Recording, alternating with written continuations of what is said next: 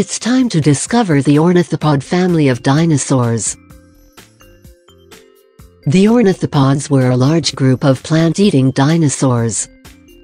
There were several families of dinosaur within the ornithopod group. The name ornithopod means bird foot.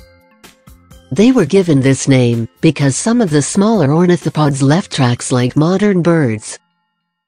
When did the ornithopods exist? The ornithopods lived throughout the age of the dinosaurs, and appear to have been one of the most successful herbivore groups. Some of the earliest dinosaur were ornithopods. They lived in southern Africa around 215 million years ago. The ornithopods may have been the ancestors from which the other ornithischian dinosaurs evolved. Perhaps the first of the ornithopods was Lesothosaurus. This dinosaur lived in what is now the African country of Lesotho.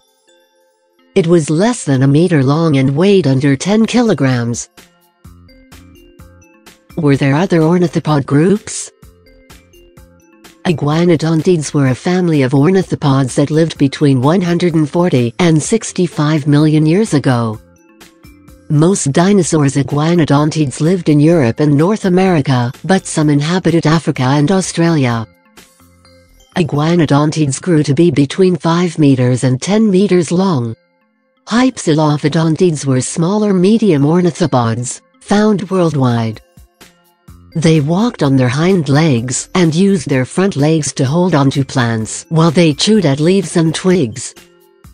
What were hadrosaurs?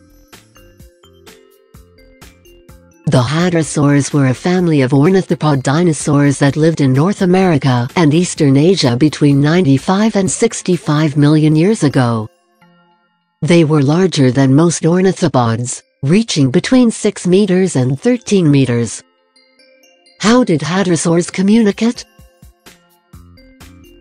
Many hadrosaurs had a large crest of bone on top of the skull, the crest varied in size and shape between different types of hadrosaur.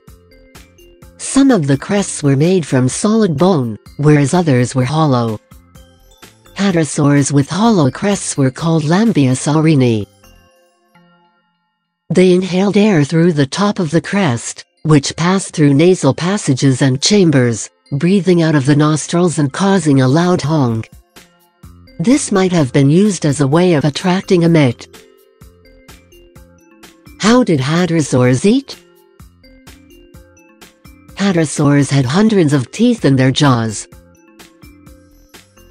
The teeth were arranged so that when the dinosaur closed its mouth to eat, the teeth rubbed against each other and so turned food to mush.